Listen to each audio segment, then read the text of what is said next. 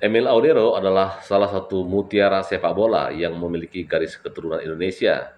Dia dilahirkan di Lombok pada tahun 1997. Ayahnya Edi Mulyadi adalah asli orang Lombok, Indonesia. Tahun 1998, kedua orang tuanya bermigrasi ke Italia. 12 tahun di Italia, Emil Audero menjelma menjadi seorang kiper yang bermasa depan cerah. Dia memulai karir di Juventus dan sekarang di tahun 2024, dia sedang berada di puncak permainan dengan menjadi penjaga gawang utama Inter Milan.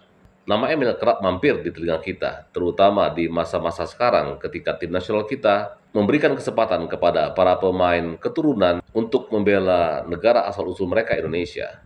Tetapi kita mungkin tidak akan percaya dengan apa yang dikatakan oleh Edi Mulyadi, Bapak Emil Audero sendiri. Beberapa waktu lalu dia mengatakan bahwa Indonesia hanya bermimpi jika menginginkan Emil Audero bermain untuk timnas Indonesia. Jangankan untuk Piala Dunia, Piala Asia pun Indonesia tidak mampu, katanya yang disampaikan oleh Emil Mulyadi sama sekali tidak menggambarkan citra orang Indonesia yang memiliki jiwa nasionalisme yang sudah diwariskan oleh nenek moyang kita dari dulu. Edi Mulyadi juga mengesampingkan etika dan empatinya kepada bangsa Indonesia, bangsa leluhurnya, yang pada saat itu sepak bolanya memang sedang dalam kondisi tidak baik-baik saja. Bukankah di saat-saat sulit seperti inilah tenaga Emil Audero akan sangat dibutuhkan oleh Indonesia? Edi Mulyadi tentu saja sangat paham sepak bola Indonesia bukan pada level yang terbaik.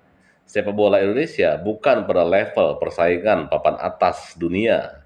Dan harusnya dia pun paham justru pada titik itulah negara ini, bangsa ini membutuhkan tenaga seorang Emil Audero, anaknya, anak seorang pria yang berasal dari Lombok, Indonesia.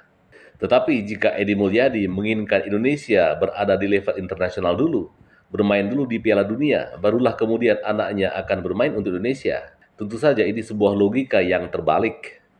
Garuda justru membutuhkan tenaga mereka di saat-saat sulit, di saat-saat yang penuh perjuangan, pengorbanan, ikhlas tanpa pamrih.